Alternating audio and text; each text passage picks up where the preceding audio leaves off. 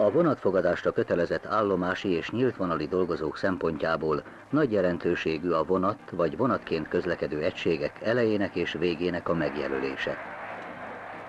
Már ebből is kiderül, hogy a vasúti dolgozóknak ismerniük kell a vonatok és egyéb vonatként közlekedő járművek elején és végén alkalmazandó jelzéseket.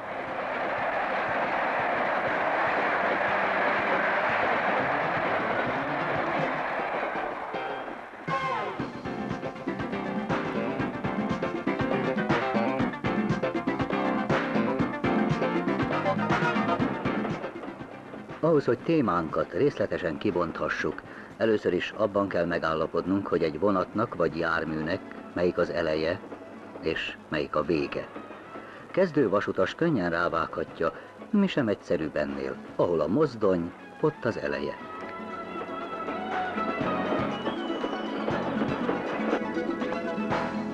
Vontatott vonat esetében ez valóban így van. Tolt vonatnál azonban már könnyen bizonyítható, hogy nem a mozdony, hanem mindig a haladás iránya határozza meg, hogy hol a vonat eleje.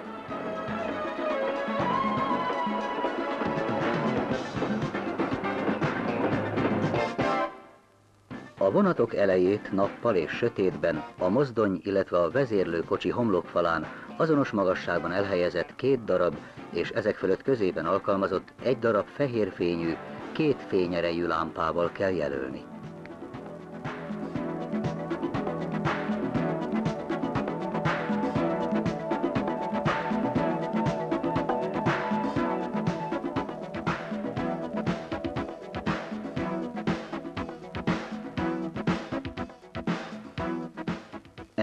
Felső lámpának, az úgynevezett sugárvetőnek a fényét külön kell kezelni.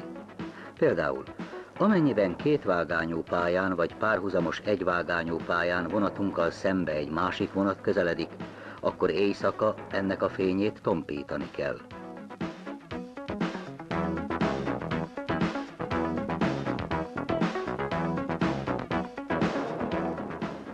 Tolt vonat elejét nappal és éjszaka az első jármű homlokfalán lévő valamelyik lámpatámon elhelyezett egyetlen fehér fényű lámpával kell jelezni. Ha sötétben, a vonat elején menet közben valamennyi lámpa elalszik, a hiányosság megszüntetése érdekében a vonatot meg kell állítani. A felső lámpa meghibásodása esetén két alsó lámpával a vonat fokozott figyelemmel folytathatja útját a vontatási telepig, illetve a mozdonyvizsgáló állomásig. A vonat egyetlen lámpával, vagy egy alsó és a felső kivilágított lámpával menetrend szerinti sebességgel közlekedhet nyílt pályáról a következő állomásig. Amennyiben egyetlen lámpát sem lehet kivilágítani, akkor a vonat elejét egy fehér fényű kézi jelzőlámpával kell jelezni. Ilyen esetben a vonat a következő állomásig legfeljebb 15 km per óra sebességgel haladhat.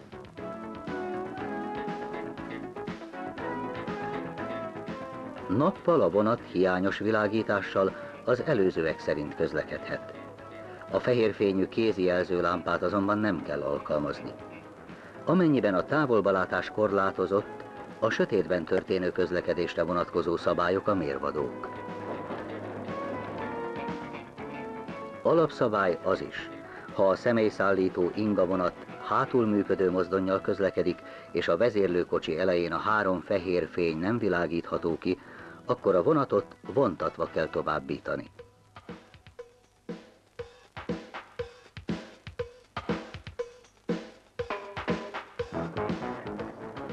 Vonatok nappal és sötétben egyaránt messziről felismerhetők, ha az elején a jelzéseket szabályosan alkalmazzák. Például a közúton közlekedő járművek vezetői idejében észrevehetik a sorompó nélküli út átjáróhoz közeledő, erős fényjel kivilágított mozdonyokat.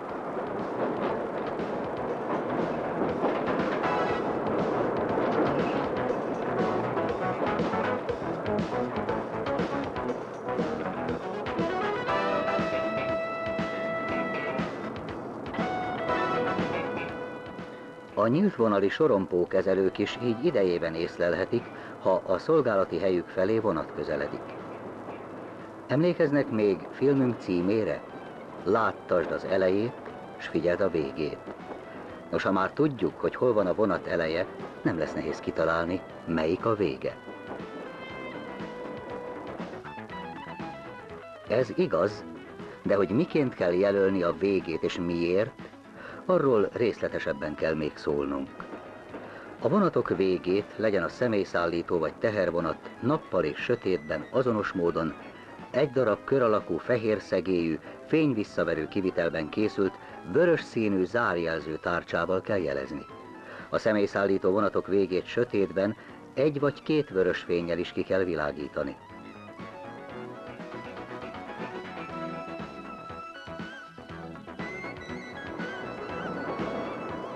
Mozdonyvonat és tolt vonat végét nappal nem kell jelezni.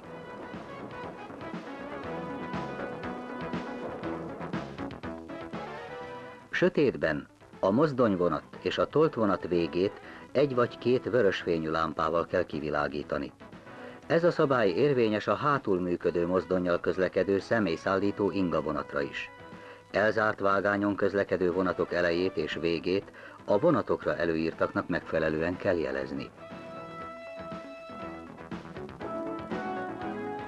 Azért kell a teljes vonat elhaladásáról meggyőződniük az állomási és nyílt vonali vonatfogadásra kötelezett dolgozóknak, mert a vonat végének a jelzése megnyugtató módon közli az érdekeltekkel, hogy a teljes vonat haladt át előttük, tehát vonatszakadás nem történt.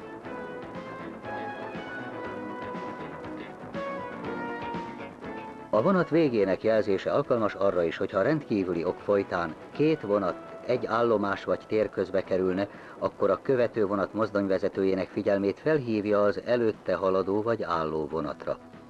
Ki kell azonban hangsúlyozni, hogy a zárjelzőnek forgalomszabályozó szerepe nincs, azt nem a követő vonat megállítása céljából alkalmazzuk.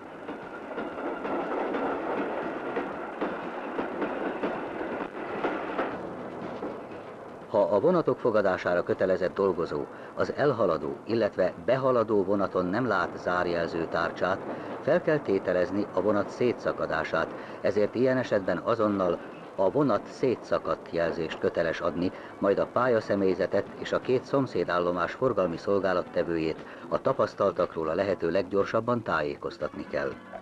Ezután valamennyi érintett dolgozó köteles a megfutamodott járművek, illetve a vonat megállításáról gondoskodni.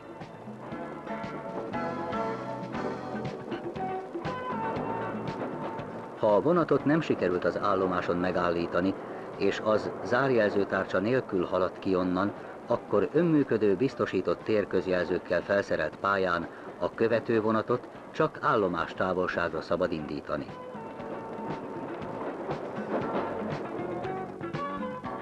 Tolómozdonnyal történő közlekedés esetén a tolómozdony végét nappal nem jelezzük. Sötétben viszont a tolómozdony elejét és végét a vonatokra előírt módon kell jelezni.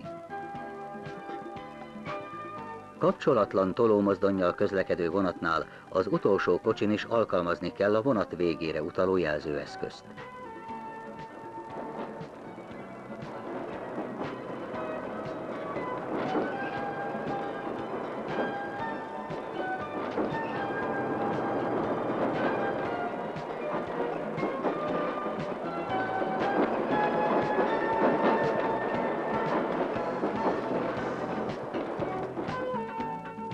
A nyílt pályáról visszatérő kapcsolatlan tolómozdony elején és végén az új iránynak megfelelően a jelzéseket fel kell cserélni.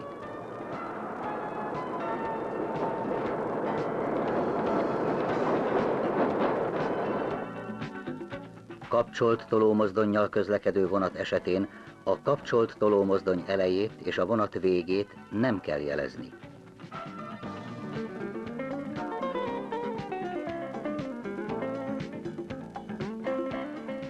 Sötétben azonban a kapcsolt tolómozdony végén egy vagy két vörösfényű lámpának kell égnie. A kapcsolt tolómozdony elejét sötétben és nappal azért nem kell kivilágítani, mert az a vonathoz tartozó egység.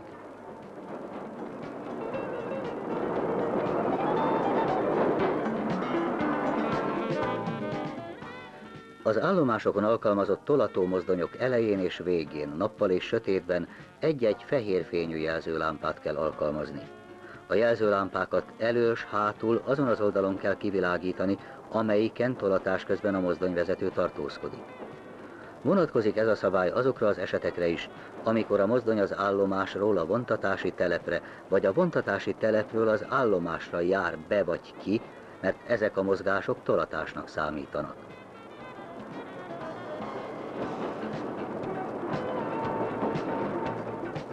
Amikor azonban a mozdony az állomás és a vontatási telep között vonatként közlekedik, akkor a mozdony elejét és végét a napszaknak megfelelően a vonatokra előírt módon kell jelezni. Ilyenek például indulás előtt a vontatási telepről a vonatra, vagy érkezés után a vonatról a vontatási telepre járó mozdonyok.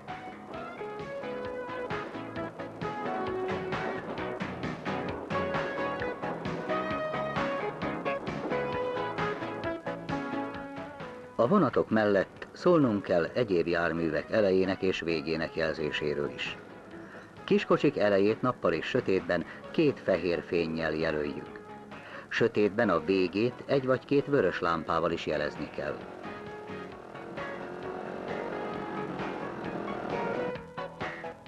Egyedül álló, vonatban nem sorozott kocsinak mind a négy sarkán egy-egy sárga színű jelzőzászlót kell elhelyezni. Csoportosan álló kocsiknál csak a szélső kocsik szabad homlokfalának sarkainál kell két-két darab sárga zászlót elhelyezni.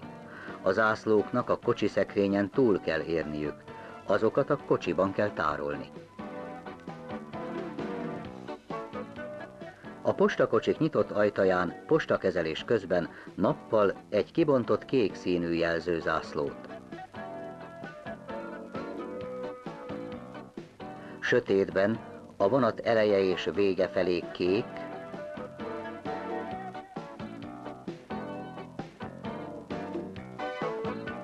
a rakodás helye felé fehér fényt adó jelzőlámpát kell alkalmazni. Amíg a jelzés látható, a postakocsival nem szabad mozgást végezni, illetve a vonatot meneszteni. Sötétben a személyek által elfoglalt, de vonatban még be nem sorozott kocsik belsejét úgy kell kivilágítani, hogy a kiszűrődő fény a pálya felé mindkét oldalról látható legyen.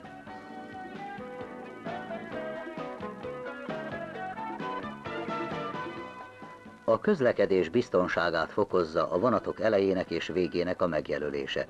Ezért nagy gondot kell fordítani a jelzőeszközök használható állapotban való tartására. A vonatok előkészítésére, felszerelésére, továbbítására, fogadására és megfigyelésére kötelezett dolgozók felelősek a jelzések szabályszerű alkalmazásáért, a jelentkező hiányosságok megszüntetéséért. A mozdonyon lévő valamennyi lámpa használhatóságát ellenőrizni kell. Ezt a mozdonyvezető végzi el oly módon, hogy a lámpákat meggyújtva ellenőrzi azokat. Ha a hiányosság nem szüntethető meg, a mozdonyt szolgálatképtelennek kell minősíteni.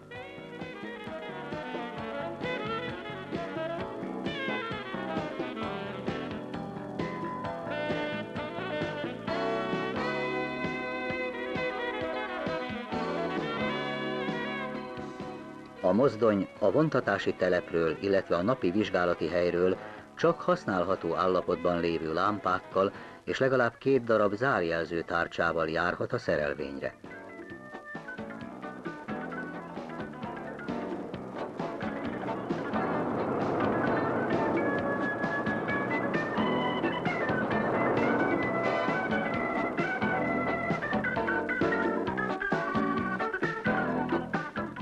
Az árjelző tárcsát a vonatkísérő személyzet köteles a vonat utolsó kocsijának hátsó homlokfalán elhelyezni.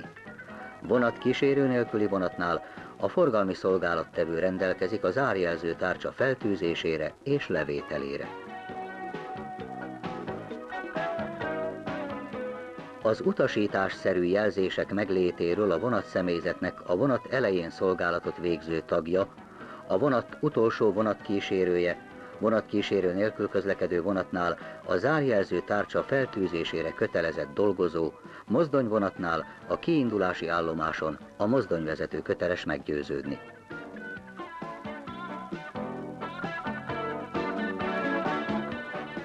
Befejezésül megismételjük az alapszabályt. Mindazok az állomási és nyíltvonali dolgozók, akik vonatokat fogadnak, kötelesek a vonatok elején és végén lévő jelzéseket megfigyelni és ellenőrizni. Ehhez mi sem fűzhetünk mást, csak ezt. Láttasd az elejét, és figyeld a végét. Ennyit akartunk mondani. És ezzel nem csak az itt látható vonatnak, hanem filmünknek is vége van.